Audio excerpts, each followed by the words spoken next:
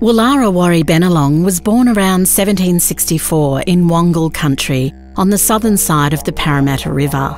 The Wangal occupied the meandering mangrove lined estuary stretching from Parramatta to Darling Harbour, which supported an abundance of animal and bird life, fish and oysters. Bennelong and his Wangal kin hunted and collected these rich food resources using spear, shell hook, and trap.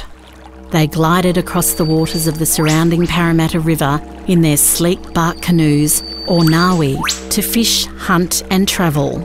In general, the canoe is assigned to her, into which she puts the fire and pushes off into deep water to fish with hook and line, this being the province of the women.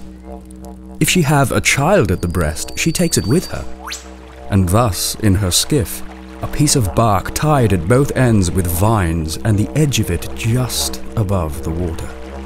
She pushes out regardless of the elements, if they be but commonly agitated.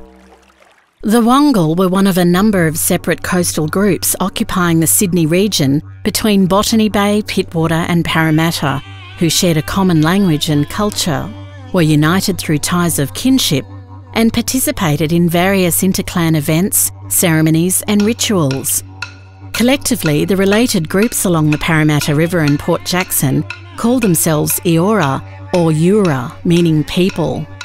Other Eora groups included the Gadigal, Gamaragal, Wallamadigal, and Barramadigal. Each of these bands contained some 200 to 300 people, comprised of extended family groups, so there were traditionally around 1,500 Eora residing across the Sydney area, according to Governor Phillips' estimate. By the time the first fleet of British settlers arrived in 1788, the 24 year old Bennelong was an initiated Wangal warrior in the prime of his life, was married, and played an active role in the social and ceremonial life of his people.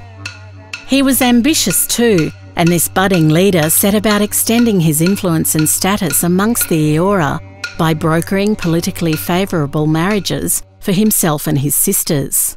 But the course of Bennelong's young life amongst the Wangal was about to take a dramatic twist and change forever.